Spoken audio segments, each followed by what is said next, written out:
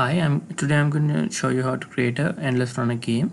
Here I have a, character uh, who is playing a, a, running animation and I have set of uh, blocks that are moving backwards. Uh, the character is actually uh, playing animation uh, with root motion off, which means the character is not moving forward. The animator I have only one running animation looping endlessly. Um, so here I have a set of tiles. Uh, these are like tiles that are moving backward. So in in my script I have uh, set up like this. Uh, I have a, a value called distance traveled.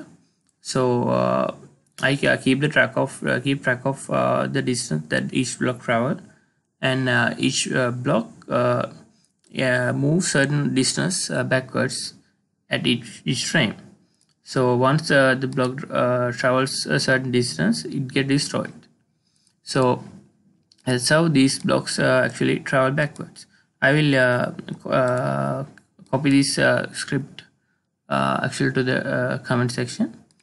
And here once all the blocks have traveled and there are no more other blocks coming. So we have to generate other blocks so for that I have this uh, tile generator tile, tile manager method.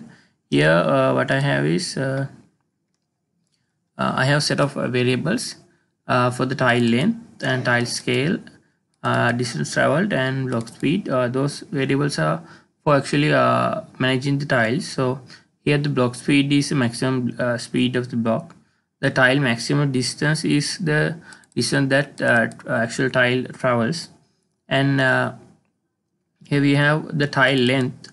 So we, we need to actually set up the tile length. So uh, after a certain length we have uh, after tile uh, after one tile move to a certain length then we have to spawn the, another tile so we have to uh, measure the tile length. Uh, you can uh, easily do that by creating a tile hey, let's say I have create a tile here and copy that and move it here.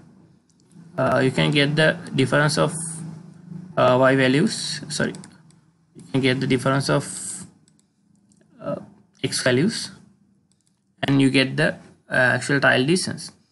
So with this script what I'm doing is uh, I uh, wait until uh, one tile travel the tile length then I spawn another tile so I, I keep spawning each tile after tile moves to its maximum length and continuously uh, spawning tiles. So this script I also linked in the description so you can follow the instructions. Uh, that's it uh, the tutorial. Let's see how it works